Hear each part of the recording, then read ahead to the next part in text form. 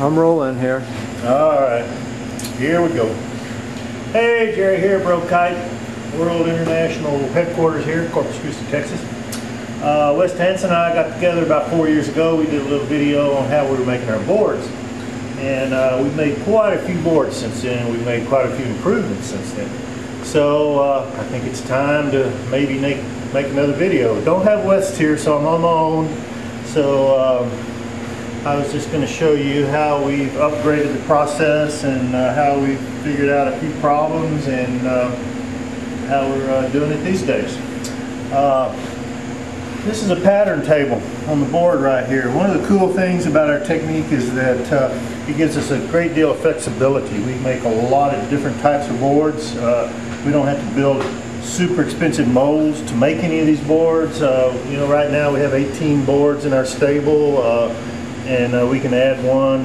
Uh, we can come up with molds for a board. It only takes us about an hour to do a new outline and new board. And because of our toasters over here, our boxes that we heat things up in, uh, it also uh, a lot of flexibility there on changing rocker and bottom shape. Yeah, to get these, uh, get core shape, we used to route these out, have a big industrial router and have a template that we throw on top of there and we run around with a big router bit and make a lot of noise. and So, of course, what we're getting now is the exact shape of the uh, core of the board. All right, once we got it marked, pull out the core, bring it over to our marking table. This is where we're going to mark where all the inserts go, where the five sections of the core are. If y'all have seen the first video, we used to do four sections, but uh, we've increased that now to five sections.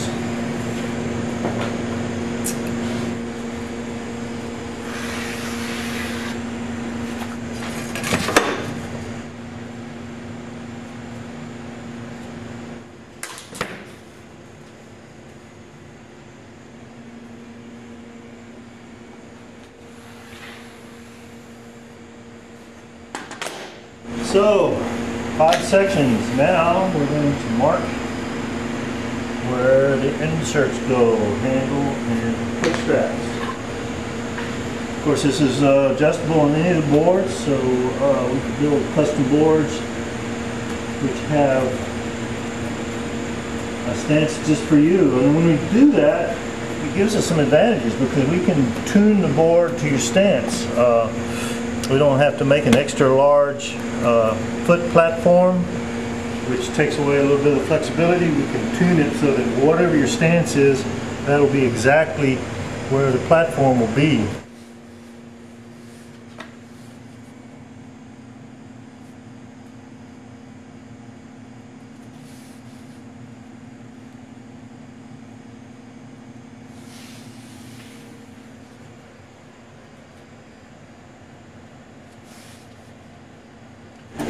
That's the core.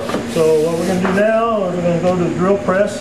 We're going to simply uh, cut one inch uh, circular holes where all these inserts go.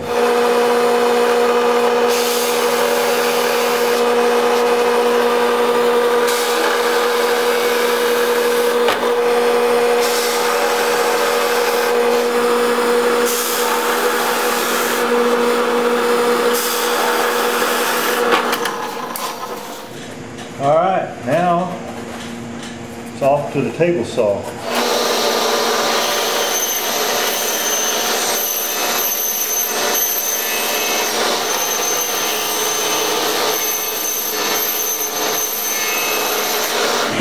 Look, off the pin left.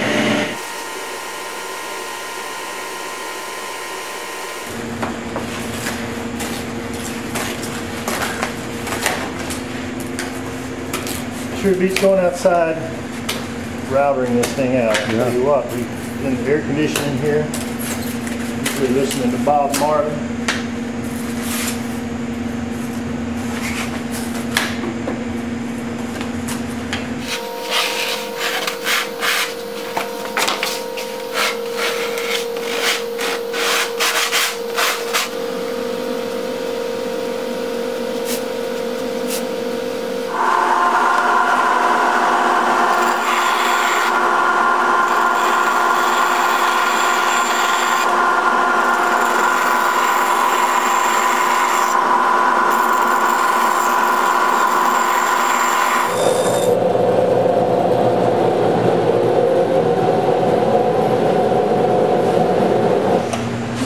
Marley. that's really changed over the last four years too, our layout schedule. We've gotten a little more sophisticated with uh, where we're putting the carbon, the type of carbon we're using. We're actually using what they call a 5-1 11 ounce carbon now, which means instead of an even weave, which is called 50-50, uh, it, it alternates every five threads so that you don't have weaknesses where the threads overlap. So it's spread out. It's more like using a directional carbon, but instead of giving you strength in just one direction, which directional carbon does, this actually gives you strength in two directions because you have the cross threads in. So that's what this baby is here. All right, this is where the magic happens. We're uh, starting to apply the carbon now. We're doing edge wrap now on the Divinycell core section, which is actually just foam PVC. We use the foam PVC because it's a neutral material, unlike wood, which uh, actually has resistance. Uh, the PVC will allow the carbon to have quicker uh, shock response and get back to where it was once it feels pressure. Uh, now we're applying the uh, foot platform, which uh, creates a rigid center part of the board uh, and feathers out with the edge wraps into the tail and gives us a uh, tail which is uh, flexible but yet very responsive.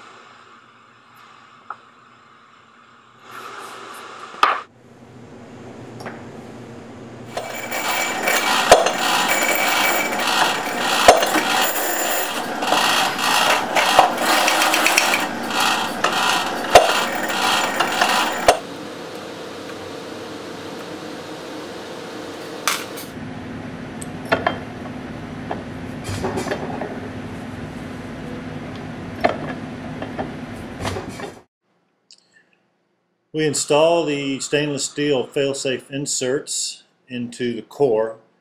Uh, the spacing on our standard uh, inserts are 15 and a half, 17 and a half, 19 and a half, and that is from uh, inside to inside. Now that's custom, we can put them anywhere. We really like just putting in one set, and that way we can tune the uh, foot platform uh, to the rider, and we don't have to cover that range to make sure they all work.